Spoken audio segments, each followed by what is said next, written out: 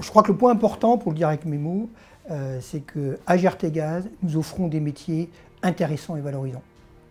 Euh, ce n'est pas une valeur, euh, comment dire, c'est pas un concept, c'est une réalité du terrain. nous avons des métiers très diversifiés.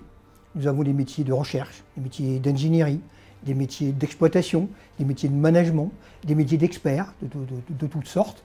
Et c'est cette richesse qui fait que les salariés sont contents de venir chez nous.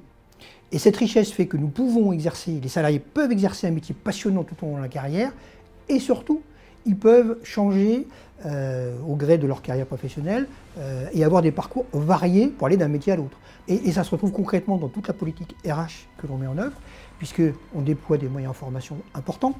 Euh, on laisse la possibilité aux salariés de, construire leur parcours sur le long terme. On n'est pas axé simplement sur le court terme, de voir le prochain poste, mais on essaie de construire des projets sur, le, sur 5 ans, sur 10 ans, et c'est ça qui nous intéresse. effectivement, c'est là où concrètement je voulais illustrer les, valeurs par des parcours concrets pour nos salariés.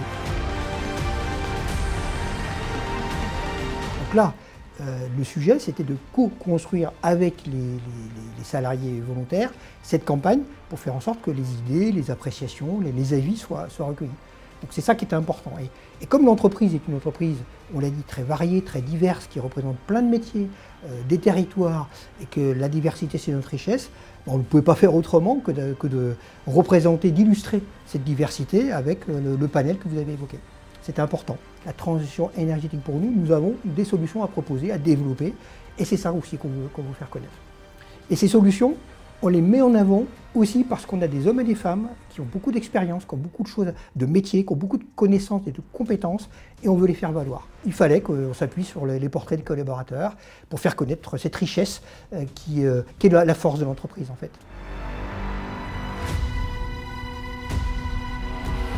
mais c'est un leitmotiv de la politique RH en matière de projet professionnel. Les projets professionnels dans l'entreprise, ce n'est pas euh, la DRH qui va dire à monsieur un tel ou madame un tel, demain vous ferez tel métier. La première des choses, c'est que le salarié doit être acteur de son développement personnel. C'est la première des choses qu'on demande à nos, à nos, collaborateurs, à nos salariés, et notamment aux personnes que l'on embauche. Donc oui, c'est une réalité, parce que c'est une attente forte. Chacun doit avoir dans les mains une partie de son avenir.